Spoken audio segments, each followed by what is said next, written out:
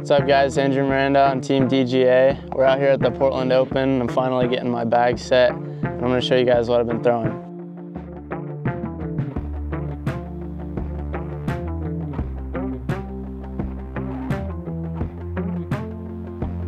So first out, I'm putting with the Splatterstone Steady BL. Nice, round, beadless, go straight.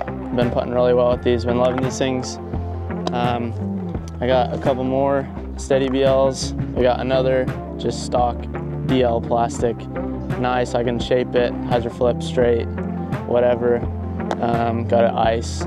These are fantastic. Rip on them, just go straight, a little bit of fade. Been absolutely loving this thing. All right, onto the approach discs. I got one zone, just a nice overstable upshot disc, side arm back in. Um, got three mids, got the aftershock, been totally loving the aftershock this year. Got this old limey, shout out Peter McBride, hooked it up with this one. Nice and flippy, you can really shape this in the woods. And then just got another first flight uh, pro line, just super straight, can rip on it, goes exactly where I need it to go. And then one Quake, just a nice overstable. If it gets windy, I can throw this over the aftershock. Nice for sidearm too. All right, next up into the fairways, we got the Pipeline. Pipeline is an amazing understable fairway. I got one of the last year's Allen pipelines. This I use mostly for rollers. It's pretty beat up at this point, but really nice utility disc. And then got one of these Shasta Crisp Glow pipelines. These are a little bit more overstable over run. Shout out Cole for turning me onto these. I absolutely love this thing.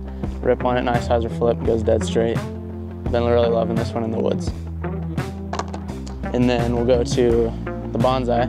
This has been probably my favorite fairway this year. Just rip on it flat, goes dead straight, a little bit of fade. Um, yeah, can really just hold whatever angle I need to. It's just like a big aftershock. And then uh, last but not least, we got the, the Avalanche.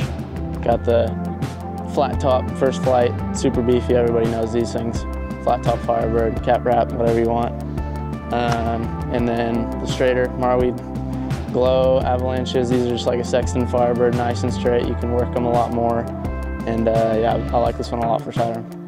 All right, on to the distance drivers. We got the Hurricane. These are gonna be a lot more shapeable than some of the other ones I'm gonna talk about. Got this Pro Line first flight. It's gonna be nice and understable. If I ever need to finish right and far, I'm gonna be going with this one. And the SP, it's a nice old domey one, dead straight. You can rip on it, really control it. Really enjoy throwing this one. And next up, we got the, the Hypercane. This is just a step up from the Hurricane. We got old first flight. Found this in Drew's, Drew Gibson's garage, so thanks for this one. This one flies super good, really beefy. This is probably my go-to when it gets windy. I can really control it, but it's still nice and overstable. And then a uh, counterpart to that, got this one from Manny Torres. Uh, it's super beefy, just beat, but really, really overstable, can handle any wind.